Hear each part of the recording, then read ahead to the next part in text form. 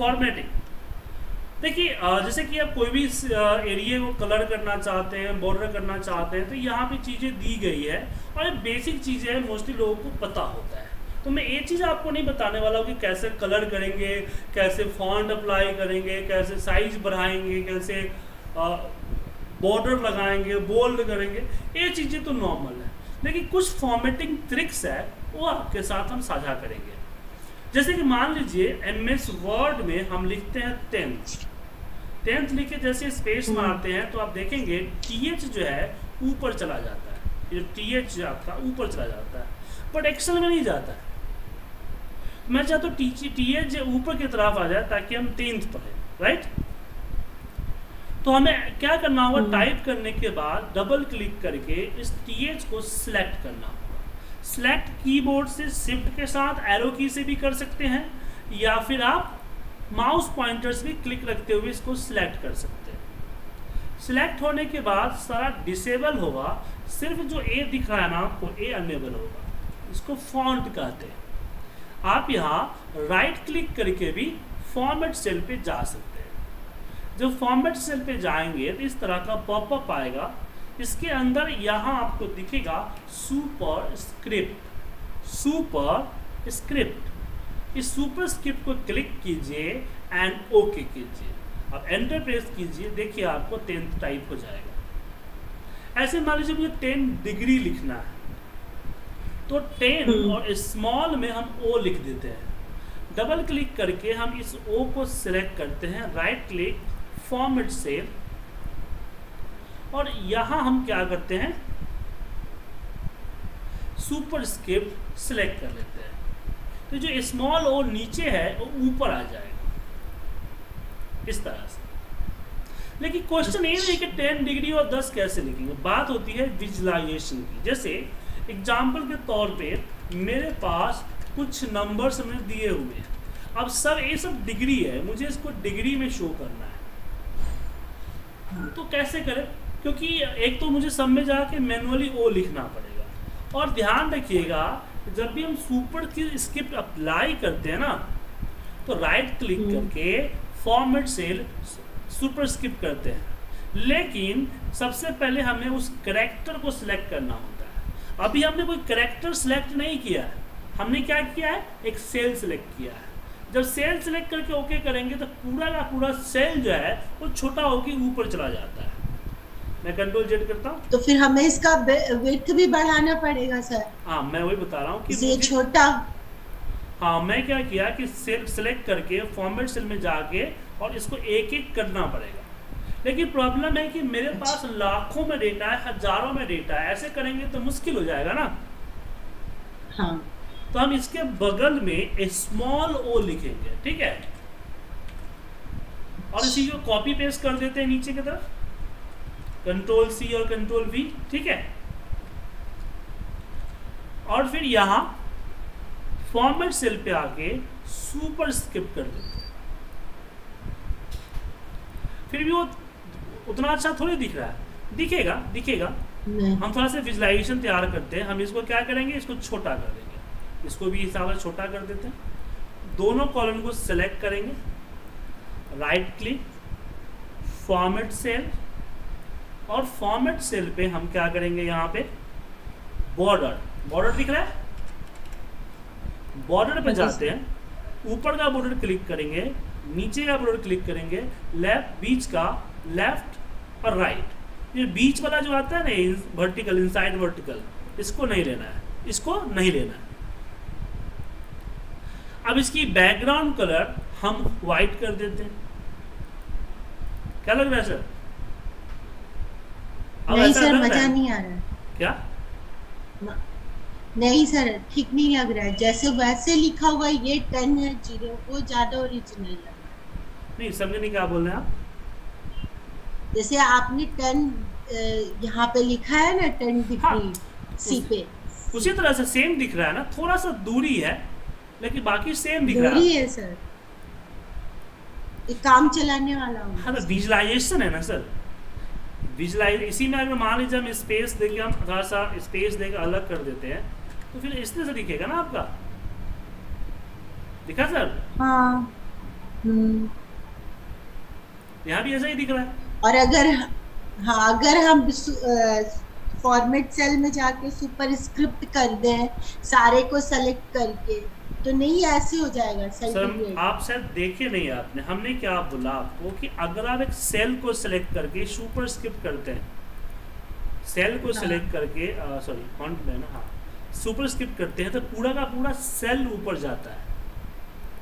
ठीक है? हाँ छोटा हो जाता है हाँ। पूरा सेल होगा।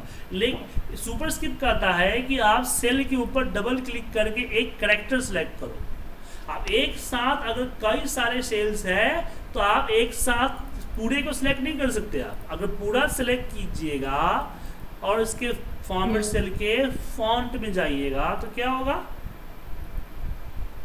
इसका विथ कम हो जाएगा। हाँ पूरा हो जाएगा। इसलिए वन बाय वन जाना होता है। तो बेसिकली मैं बात कर रहा हूँ विजुलाइजेशन क्रिएट करने के लिए। अगर मैं फॉर्मूला बार में गया इसे पेज पेज लेआउट जो ऊपर दिख रहा होगा यहाँ पे गया और यहाँ ग्रिड लाइन दिख रहा है। अगर इस व्यू को मैं अनचेक कर देता हूँ तो क्या होगा? हट गया। हम्म, अब बेटर दिख रहा है? हाँ अब ओरिजिनल लग रहा है। हाँ। तो हम विजुलाइजेशन तैयार करने की बात करें कि कैसे हम विजुलाइज कर सकते हैं ठीक है? अब इसमें छोटा होता है। थोड़ा सा फिर दिखाए क्या बोल रहे हैं?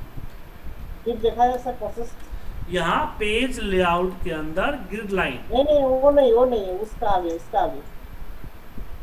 क्या उसके उसके आगे सर मतलब वो जो किया है किया है आप जो विजुअलाइजेशन किया है उसका प्रोसेस हाँ मैं बोला विजुलाइजेशन मतलब कि विजुअल करते हैं मतलब दिखावा करते हैं। जैसा दिखना चाहते हो वैसा दिखाते हैं। एक्चुअल क्या है उससे मतलब नहीं है। क्या दिख रहा है वो देखने पर्पज होता है। तो दिख रहा है ना कि है? कैसे हुआ सर फिर बताइए। कैसे करा सर? थोड़ा सा क्या कैसे किया? हमने गिरलाइन हटा दिया सिर्फ़। ये गिरलाइन हटा दिया? नहीं नहीं नहीं नहीं वो जो किया है फ़र्स्ट टाइम से प्रथम से फ़र्स्ट टाइम से जो किया है वो बताए ना। सर सिंपल सा हमने दो सेल में लिखा पूरा बताना पड़ेगा। दो सेल में लिखा यहाँ स्मॉल ओ किया स्मॉल ओ ठीक है? राइट क्लिक हाँ। किया फॉर्मेट सेल और इसको कर दिया सुपर स्क्रिप्ट हो गया? हाँ, हाँ, अब इस, इस कॉलम को छोटा कर दिया। इस कॉलम को छोटा कर दिया। इतना छोटा क्यों हो जा रहा है ठीक है। इन दोनों को सेलेक्ट किया। फॉर्म फॉर्मेट सेल में गए। बॉर्डर में गया। और चारों का बॉर्डर में अप्लाई कर दिया।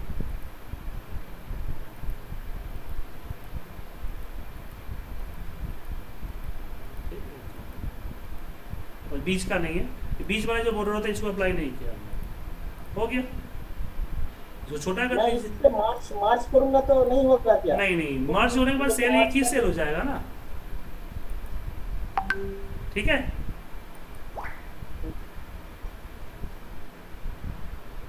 आगे बढ़े। हाँ जी सर।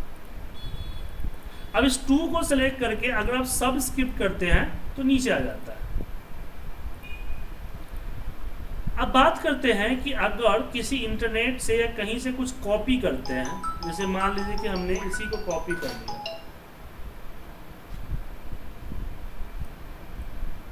सॉफ्ट कॉपी किया। कॉपी करके अब एक सेल पे यहाँ इस तरह से डायरेक्ट पेस्ट कर दूँगा तो सही नहीं होगा ना? तो हम क्या करेंगे एक एरिया को लेते हैं बड़ा सा एरिया और इसको मर्ज करते हैं। मर्ज आपको यहाँ दिख रहा होगा कौन? अलाइनमेंट में होता है। हम्म मर्ज कर दिए अब मर्ज में डायरेक्ट इसको पेस्ट करना है तो डायरेक्ट पेस्ट नहीं कर सकते। हमें इस पर डबल क्लिक करके फिर इसके अंदर पेस्ट करना होगा। ठीक है? और डबल क्लिक करके पेस्ट करने पे भी सही तरीके से नहीं दिख रहा है। तो इसको मुझे यहाँ से रैप करना होगा। ऊपर रैप दिख रहा है? रैप करना होगा। और फिर थोड़ा सा इसको सेंट्रल कर लीजिए। यहाँ अलाइनमेंट लेफ़्ट से कर दीजिए और मिडल कर दीजिए। आ गया। अब मान लीजिए इसमें जो सपोर्ट बोलिए क्या बोल रहे हैं? सर जैसे ये प्लेन आप लेकर आए हैं ये कहाँ से मर्ज किया? ना नहीं बोला आपने मर्ज किया हमने। हमने एक एरिया सेलेक्ट किया और यहाँ से हाँ। मर्ज किया। मर्ज किया। मर्ज से रैप अप में गया। मर्ज से मैं एक बड़ा सा एरिया एक कर दिया। ठीक है? हेलो ठीक हेलो। अब इसमें क्या है? ये सपोर्ट है ना ये वर्ड गलत है। अब जिसने मान ली किसी ने आपको फ़ाइल भेजा और आपको लगा कि गलत है अब उसको फ़ोन करके समझाएँगे कि भैया गलत है पूछे कहाँ गलत है क्या गलत है? तो आप सिंपल से क्या कीजिए? इसको सिलेक्ट कीजिए डबल क्लिक करके इसको सेलेक्ट कीजिए। ठीक है? सेलेक्ट करने के बाद सेम आपको फॉर्मेट सेल पे जाना है राइट क्लिक करके। राइट क्लिक करके कहाँ पे जाना है? फॉर्मेट सेल फॉर्मेट सेल और यहाँ हमें दिखेगा superscript and subscript इसी के ऊपर आपको दिखेगा स्ट्राइक थ्रू स्ट्राइक थ्रू क्या करेगा? उसको बीचे बीच इस तरह से काट देगा। और यहाँ हम अच्छा। कलर रेड कर देते हैं तो लाल कलर भी हो जाएगा। देन ओके कीजिए। तो अब दिख रहा है ना कि हाँ गलत है। हम्म, क्या सर समझ में आया? मैं मैं चाहता हाँ, हूँ। मेरा जो वर्ड है हम्म। वो ब्लैक लगेगा और स्ट्राइक थ्रू रेड होगा। वो हो सकता है क्या? देखिए जिसको सेलेक्ट कीजिएगा ना उसका रेड होगा। अदरवाइज़ पूरा सेल रेड होगा। आप चाहिए कि मैं सिलेक्ट करके कोई कंडीशन लगाऊँ तो पूरा रेड होगा। आपको कोई पर्टिकुलर वर्ड या सेंटेंस करना मेरी बात मेरी बात कंप्लीट होने दीजिए। मेरी बात कंप्लीट होने दीजिए सर अगर आप चाहते हैं कि एक पर्टिकुलर पैराग्राफ टाइप है उसके अंदर का कोई पर्टिकुलर वर्ड चाहे किसी भी कंडीशन में रेड हो तो आपको मैनुअली ही करना पड़ेगा। डबल क्लिक करके सिलेक्ट करके फिर आप यहाँ से करें या फॉन्ट से करें। रेड या कोई भी कलर करना चाहते हैं। इसके अलावा दूसरा और कोई तरीका नहीं है। एटलीस्ट बीबीए के पास भी इसका कोई तरीका नहीं है। समझ गए? सर एक चीज़ मुझे पूछना है हम्म। कि हमने यहाँ से मर्ज किया फिर रैप कहाँ पे है सर रैप का रैप यहाँ है। मुझे दिखा दीजिए। रैप अच्छा मर्ज के ऊपर रैप ठीक है रैप सब ऊपर ही है तो बेसिक चीज़ें हैं। हाँ ठीक है। ठीक सोमेन जी आगे बढ़े।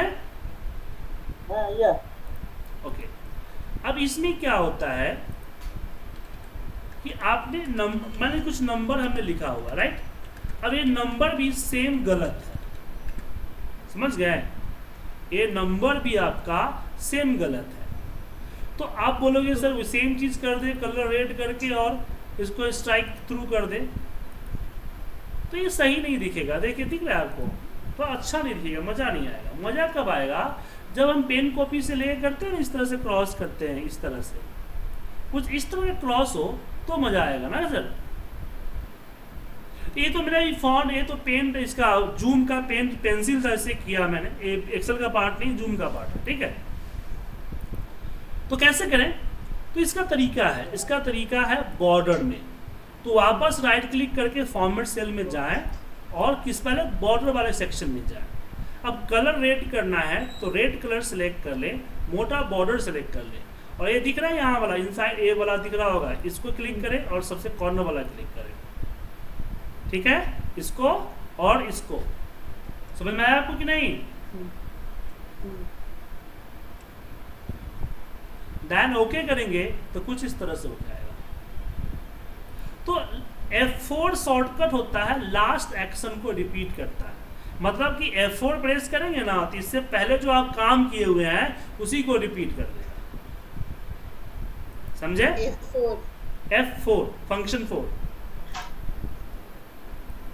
अब इसमें चीज़ और भी है मैं इसका कलर ग्रीन ले लेता हूँ। और मैं इसको सेलेक्ट करता हूँ और इसको सेलेक्ट करता हूँ। देन ओके टिक का निशान आ गया। देन अगेन मैं F4 करता हूँ तो टिक को रिपीट कर दिया। लेकिन जस्ट विजुअल के लिए मतलब दिखाने के लिए प्रिंट आउट निकालने के लिए इसका इस्तेमाल कर सकते हैं।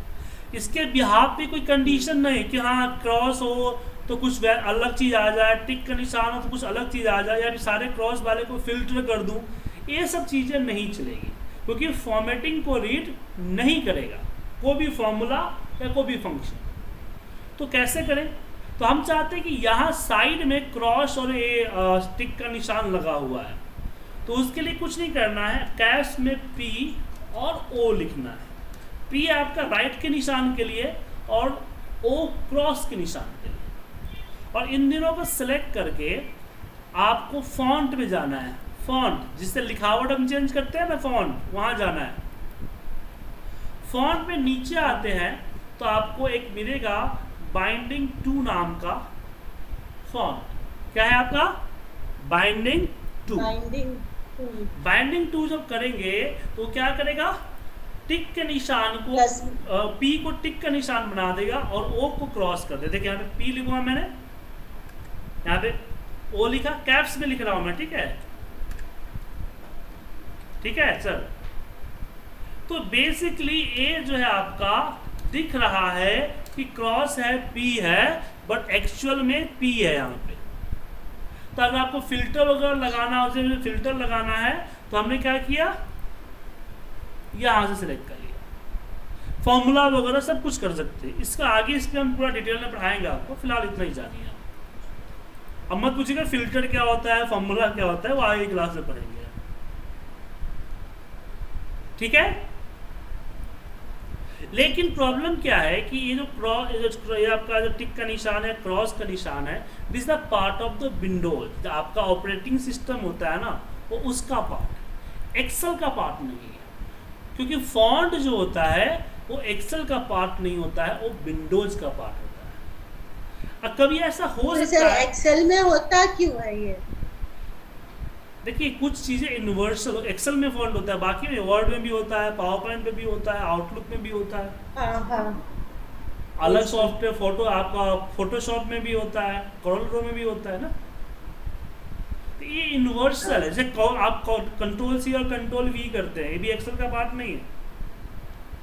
ये हम्म, विंडोज़ का पार्ट है।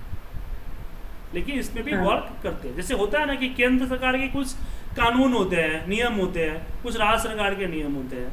केंद्र सरकार का नियम पूरे राज्य पूरे देश में चलता है। और राज्य सरकार का नियम जो है सिर्फ़ राज्य में ही चलता है। सिर्फ़ राज्य में चलेगा हम्म, सेम उसी तरह से कि एक्सेल के जो फीच कुछ फीचर्स हैं जो सिर्फ़ एक्सेल में ही चलेंगे। विंडोज़ के फीचर सब में चलेंगे।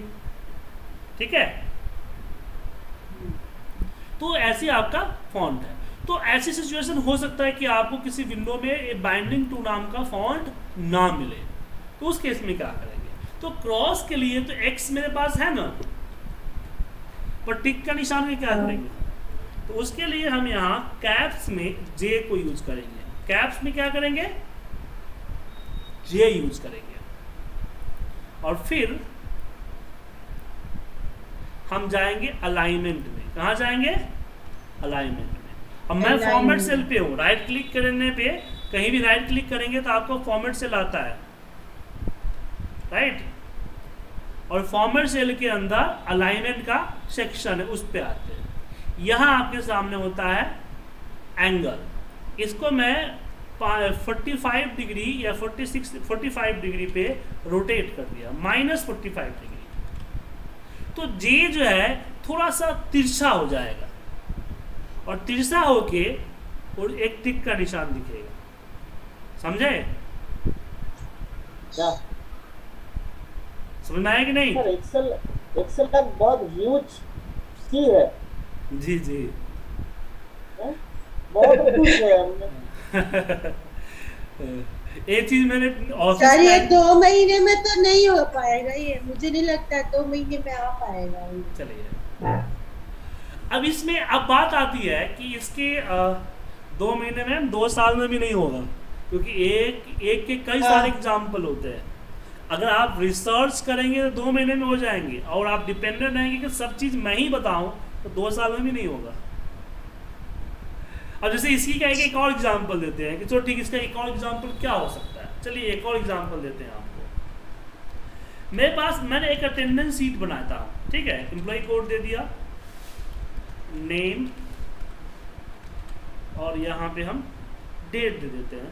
मैं जुलाई का ही बना रहा हूँ तो जुलाई का डेट दे दिया। और इसको आगे के सॉरी वन सेवन है ना। और इसको लेके आगे तक ड्रैग कर दिया, जो कि हमारा तीस जुलाई तक है, इकतीस जुलाई सॉरी और फिर यहाँ पे कुछ नाम दे देते हैं one two three four five six seven eight कुछ नाम दे दिए, कुछ नंबर और कुछ नेम दे देते हैं। और यहाँ पे हम प्रजेंट कर देते हैं। तो ये अटेंडेंस हमारा बन के कंप्लीट हो गया। इस पर एफ़ टू प्रेस आप सॉरी कंट्रोल डी और कंट्रोल कंट्रोल आर और कंट्रोल डी करते हैं तो फिर हो जाता है। या कॉपी पेस्ट भी कर सकते हैं। ये ये चीज़ यहाँ का था एक फ़िल्म में, ये आपको फ़िल्म में पढ़ाऊँगा आगे। कुछ चीज़ें आगे की चीज़ें हैं तो ये चीज़ें फ़िल्म में पढ़ाऊँगा तो फ़िलहाल जो है हम इसको कर देते हैं बॉर्डर लगा देते हैं क्योंकि बॉर्डर प्रिंट में आता है ऐसे प्रिंट में नहीं आता है। अब प्रॉब्लम क्या है कि जब मैं इसको प्रिंट करता हूँ फ़ाइल में गया और यहाँ प्रिंट पे क्लिक किया तो ये देखिए ये तो छः जुलाई तक कहीं आ रहा है। चलिए थोड़ा सा मार्जिन बढ़ाते हैं मतलब कि साइड जो ऊपर नीचे जो कटता है ना उसको कम कर देते हैं। सात तारीख तक आ गया। चलिए पोर्ट्रेट है ना लैंडस्केप कर देते हैं।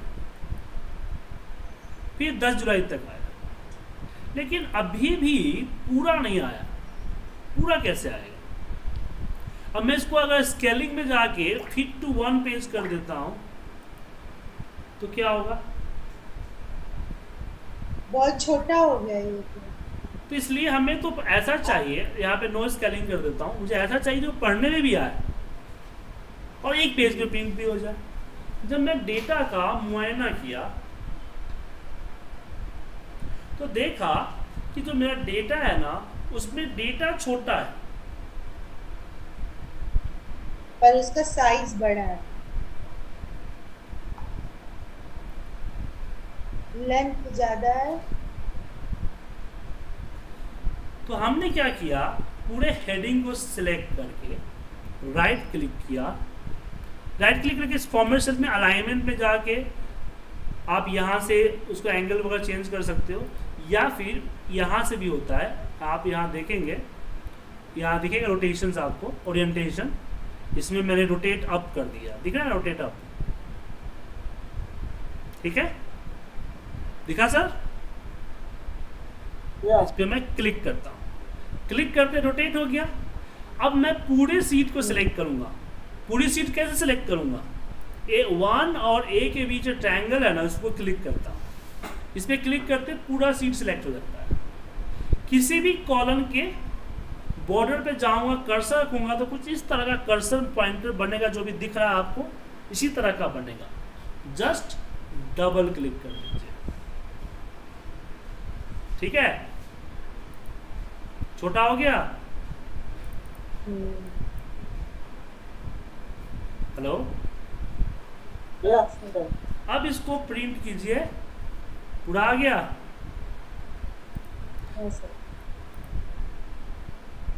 ठीक है? तो हर ऑप्शन के बहुत सारे यूज़ हो सकते हैं। तो तो आप लोगों के रिसर्च पे डिपेंड करता है। तो आज जो है अ, इसकी प्रैक्टिस कर लीजिए।